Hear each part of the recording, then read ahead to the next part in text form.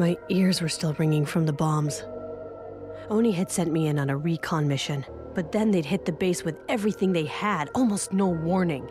No attempt to protect me, or Ari. Certainly not civilians. I was just another data point to them. Disposable. I could feel all the hearts and minds I'd fought for slipping away. The UNSC would always bomb, and the rebels would always take up arms in vengeance. Maybe both Sully and Ilsa were right. There was no room for anything else. As I looked down at Bostwick, I couldn't help but feel guilty. I had taken this lost, naive kid and turned her into a foot soldier for my cause. I'd become an expert at rationalizing my actions, telling myself that ultimately, I was working towards the greater good.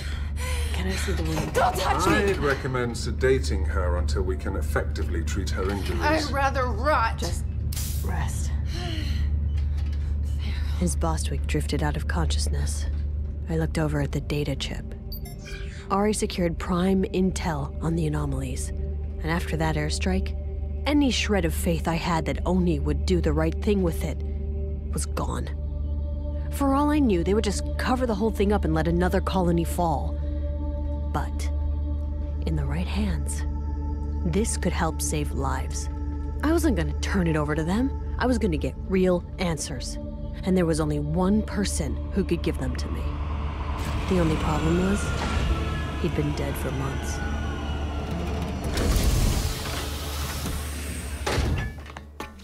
The safe house barely qualified as a house. A crumbling old farm on the outskirts of Binturong, a dusty wasteland in the outer colonies. No one around for miles, except for the occasional alien trader. Not a great place to live, but a perfect place to hide. What is this place? It's not in my database of safe houses. It's off the grid. There's some sort of signal interference here. Yeah, that's kind of the point. The safe house was an old lesson from Ari. When Oni puts you under cover, you lose everything. Every trace of who you were is wiped away to protect the mission. Ari taught me always keep a place just for me. A place to keep memories, to stay attached to the life Oni had erased. A place I could run away to when cover got too deep. Somewhere to ground myself. Or maybe stash a secret. Who's there? Don't come in! I've got a gun! I've got Get two out of guns! the way, Mashak. Maya! You're back! I thought you'd never come back! I thought nobody would ever come back. He looked rough. Greasy hair, a thin, patchy beard. The weight he'd lost in his face made his darting, bloodshot eyes all the more unsettling. What have you been doing to my house? Oh, you have no idea what it's been like. Wait, why are you carrying a dead person? She's not dead. Here, help me get her into the bunk. Mashak Muradi. Oh, is that an AI? Well, you're rather energetic for a dead man. You've got an AI? This is Black Box. The official report indicated that you had been terminated, quite brutally, if I recall. I wish I had been. It does look like he's been tortured. He hasn't been tortured. Oh, really? Okay, well then what would you call it? She left me here with no comms, no access to Waypoint, no slush. I've been reading paper books. Paper books. I couldn't go through with killing Mashak. He'd figured out my secret, and he was gonna tell Ben. He had to be silenced, but And even if I managed to finish When I broke into his house that night, he got so scared, he ran headfirst into a wall and knocked himself unconscious. I caught him stealing food. He's a great hacker, but dangerous? That's right. Not even close. was even worse. So I hit him, stuck him out in the middle of nowhere, and put a blackout array cutting off communications for a kilo in every direction. But a few months cut off from the outside world had left him a little tech starved. And honest to goodness, AI was the best toy I could have brought him. You know, you're really top of the line stuff. You live on this chip? In a way, you see. Okay, I have a question. I'm sure you get it all the time. But other AIs look like people, right? But you're just like a big blue cube. I am pure intellect. I feel no need to affect a facade in order to make myself more palatable to humans. I am what I am. I am Black Box. yeah, right. But the box is really blue, though. Black is the absence of light. A hologram can't display black. I think I'm gonna call you Blue Cube. Ow! Did you just electrocute me? No. Oh, hang on. Yes. Listen, Blue Cube, I can stick this chip in a micro cooker. Miss and Shock, just stop it. Hey, um, why did you bring him here? He's Oni. Miss Shock, I'm Oni. And how long is that going to last once he tells them you're keeping me alive? You can't trust an AI. They want you to think they're these perfect synthetic beings, but you know how they make them? They take some dead guy's brain and just rewire it with new programming. They're basically computer zombies. We also have excellent hearing. Focus, Mashak. The anomalies, the same ones you were tracking, they're here now, and they're real. They've already destroyed five colonies. Now I've got a data chip full of intel from one of the sites and zero context. I need information. The kind that isn't sitting out there in the waypoint index. Wait. The kind you can only find in the slush. Do you mean you're going to give me back my compad? Hold on. Yes! Hold on. Yes, yes, yes! I'm opening up a limited channel. An encrypted frequency just for you so BB can't use it to call Oni. I'm not sensing a lot of trust between us, Maya. Find out what's going on. Fast. Absolutely. One billion percent focused. Wow, I have a lot of unread messages. Oh no. What? The unthinkable has happened. I fell off the leaderboards on Unggoy Farmer. Mashak. One billion percent focused. While Mashak tried to uncover the secrets of the slush, I went in to check on Bostwick's wounds. Mashak had made a real mess of the place. Clothes and ration wrappers on every surface. But I noticed Mashak had left one area untouched. My shelf. I picked up an old photo. Me as a little girl holding up a trophy. Is it Spelling, I think? Huh. It was hard to remember the exact moment, but I remembered the place. My dad's old cabin. When I was setting up the safe house, I kept thinking back to that cabin, with its wooden walls and a door my dad carved himself. Something about it always felt so real, so permanent. I was still lost in the past when I looked over and saw Bostwick, awake, staring at me, pure hatred in her eyes. The look on her face caught me completely off guard. She looked like she was ready to kill me. Before I could get a word out, Bostwick was coming at me with a scalpel. She was still weak, though. It didn't take much to restrain her. Eventually, she gave in to the pain. I know that you're angry. I would be too. Okay, just listen. Just do it. Do what, Boss? I, I, Kill me, I'm torture trying me. I'd rather die than be in the custody of a traitor. What? I'm not a traitor. You're. Oni, aren't you? Yes, but I'm trying to protect you. You're my friend. Pharaoh and I were friends. I don't know who you are. You're right. You don't know me. But we're not so different, you and I, okay? Just trust me. Trust you? were your parents killed by Oni officers? No, Bostwick. I am nothing like you. You're a liar. You're right. But believe it or not, you are the closest thing I have to a friend. And I want you to know the truth. I at least owe you that. Come on. Ask me whatever you want. Well, what's your real name? Maya Sankar. Mhm. And how long have you been a rat trader? I joined Oni when I was around your age, but I didn't get into spec ops. As I opened up to Bostwick after years of deceiving her, I told myself that regaining her trust like this would protect her. But as the answers poured out of me, I knew deep down why I was really doing it. I needed to finally start telling the truth. I had absolutely no idea they were going to attack. They kept me strictly need to know. Were you going to try to turn me? Make me into an Oni spy like you? No, I. It wasn't like that. I. All that stuff you said as Pharaoh about finding the truth, about beating them with ideas and lifting up the outer colonies as equals. I meant it. Every word. M- more than anything, I just. I wanted to. After being undercover for so long, I started to feel. Sometimes I feel like I am Pharaoh. It's hard to explain.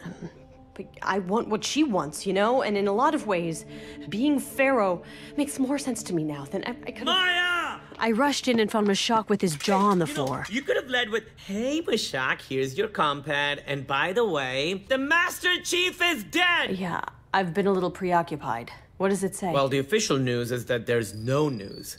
Same speech on a loop. He died in the line of duty, protecting us all. Blah blah blah. What a hero. But lots of speculation in the slush. theories, other theories debunking those theories. Some people claiming the UNSC is using his death to cover up a bigger story. They think he's still alive. Reliable, I'm sure. What would the UNSC have to gain from presenting the chief as dead? Why destroy his legacy? Ah. It cements his legacy. Bostwick had made her way to her feet and stumbled into the room. You once said the heroes are born out of sacrifice, but cemented in death. Yeah, but still, why? What, to cover up the anomalies? How does killing the chief publicly cover that up? It doesn't. Unless the truth is scarier than the cover up. What if the whole Pico story was a dry run? If the chief isn't following orders anymore and he's proving to be more trouble than he's worth, you'd have to get rid of him, right? I was processing everything very slowly at that point. But what Mashak said had struck a chord. If the chief wasn't following the rules, and the Oni AI bot's statistical analysis pointed to his death being more valuable than his life, they wouldn't hesitate to pull the trigger. I should know. I've just been the victim to the same analysis. Okay, so is there anything specific about the anomalies? I did find one theory, but it's a little new, new, new testament. You know the triad? The religious cult? Yeah, they're popping up all over the place, claiming that the anomalies aren't random, that they're part of the transcendence, and that their leader, Dask, has returned, and that these anomalies are basically the galactic end times. The Triad was a religion, sort of. I'd run into small pockets of their members a few times while undercover. They were always preaching about multiple lives, transcendence, the end of the universe. Crazy ideas that didn't sound so crazy if you were desperate enough. Lucky for them, there were a lot of desperate people in the outer colonies. Their leader, a man named Dosk Gevadim, had gained millions of followers across Waypoint, then suddenly disappeared. Oni was pretty sure he was dead or in hiding, but his followers were convinced he'd ascended into another realm. Only keeps blocking the posts, but word's getting out. Here, take a look. For your struggles, I have willed myself back to this plane of causation and particle, so that I might illuminate the meaning of these events. Exquisite transcendence is yours for the taking. Oh, children, we are now upon the rebirth. These so called disasters herald a new age of unification through disentanglement, a glorious unbecoming, freedom from the quivering vessels of self we've clung to for so long. Do not fear these events. Do not fear their power, for as the worlds shake, we are inevitably arriving at the precipice of existence, the edge of a metaverse that is awakening for us, as we, who have only known the night, are about to bear witness to the first dawn. That is the advent of the third life. And I find myself humbly bestowed with a genetic imperative to release your fear, to help you step lightly from the edge into ascendance. The spiritual genocide that awaits those who do not open their eyes, the abyss beneath them, I cannot bear. This is only the beginning. Could he possibly have intel on these things? I suppose. I mean, anything is possible. We live in a galaxy where the human race was almost wiped out by an alien race that breeds farts. Actually, it's methane, and I'm fairly certain that grunts were far from wiping out humanity single handedly. Okay, now we're just splitting hairs. All right, well, on that note, Maya, I believe this detour has gone on long enough. It's time to return to the realm of rational thought. I can't go back. I can't trust Oni anymore, not after everything that's happened. There's no telling what they do with the intel we've gathered. Maya, I wish Oni was run with the monstrous efficiency you and Mashak imagine. So tell me then, what's really going on here? What's really going on, Maya, is that you're walking a treacherous and narrow path. But if you return with me and the data to Oni, you may just avoid falling off. Is that an offer or a threat? What the? Sounds like an incoming call. But I blocked all comm signals. it would appear that you did not. Maya! Noah, what the hell? How did you get through? Why didn't you warn me about the bombing? I tried to hold them off as long as I could. I was overruled. They decided taking out the target was worth losing the asset. Damn it, Noah. Maya, listen. I am not an Maya, asset. there's I'm no a. time. Your location isn't secure. What? But how? How do they even know Why where didn't we? you check in? They think you're on the run. There's an extraction team inbound right now. What? But how Listen did they- to me, Maya. They just want to bring you in. Nothing bad is going to happen. No, I promise. no, no, no, no, no, Maya, no, no. stop. Listen to me. Whatever you do. Goodbye, Noah. Maya, you're making a terrible mistake. We gotta move, everybody, now. I understood what he was saying. Bring me in. That means midnight facility. When they bring you in, you don't come out again. That wasn't gonna happen to me. How did they find us? It was Blue Cube. The little rat bastard sold us out! My out! communications have been incapacitated by the blackout array since we arrived. Perhaps they tracked us from Conrad's Point? No time. Help me flip the bed. Okay, but why? Holy crap, my bed is full of grenades. Bostwick, are you okay? yeah. Why is my bed full of grenades? Can you run? I don't need your help. I'm setting a 10 second timer. That should give us enough time to get clear. There's no cover out there, so once we get outside, run. God, I should have paid more attention in PE class. The explosion should distract them long enough for us to get to the ship. What about before the explosion goes off? Pray they miss. Hey, Maya? Yeah, um, I don't mean to keep harping on this, but why is my bed full of grenades? Maya, you can still end this. No, I can't. Everybody ready? Timers a go. In three, Let's do it. two, Oh, God. one. Those 10 seconds felt like eons. It took them five just to spot us. The next five were an eternity.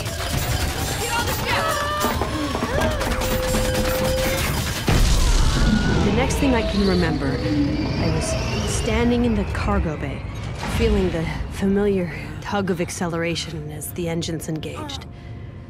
Bostwick was doubled over in pain. are pain. fine. I'm fine. As we left the planet's atmosphere, I didn't know where I could go. My employer had just tried to light me up. Bostwick would out me to the rebels the first chance she got. Pharaoh was gone. Commander Maya Sankar was gone. And with the few memories I'd kept now burning up in that safe house below, whoever it was I used to be was gone too. All I had now was an AI who wanted to turn me in a betrayed friend who wanted me dead, a hacker with a heart of lettuce, and a data chip filled with information that could get me killed. I had no idea what to do next. But then somebody made that decision for me. What is that? What did the zombie do now? It's not me. There's a ship approaching fast off our starboard. Oh, Damn it, Oni. I'm moving to full thrust. I'll I recommend securing your person instead. Now. You heard him. Strap in. Normally, you can't feel how fast you're going in space. Unless, of course, somebody grabs you by the tail. Forced deceleration is nasty. If we hadn't been warned, it would have smashed us into a pile of guts on the bulkhead. But even strapped in, the G forces can be ah. gut wrenching. By the time I unbuckled and fell out of my seat, all the ship's systems were shutting down. Everybody okay? They'd killed our power. We were helpless. I could hear them coming through the airlock door. An Oni acquisitions team. I tried to stand up and face them, but I was too dizzy and collapsed on the deck. There was a pneumatic hiss as the boarding tube bolted to our hull. The clink of their mag boots as they stepped across the gangway, even the sound of their TACCOMs hacking our lock system. I'd been on the other side of that door. I know what happens when they take you. I wish I could say I was brave. Pharaoh would have been brave, but I'd seen what happened to Ben. I was afraid of the pain. I was afraid to lose myself. I didn't want to die. I looked up as they came in. There were three of them, but my eyes were immediately drawn to their leader. I saw his razor sharp beak first, bright red quills spilling out over his neck, and finally, his talons, gripping a needler, pointing it right at my chest. This wasn't Oni. This was something worse. Something more unpredictable. Jackals.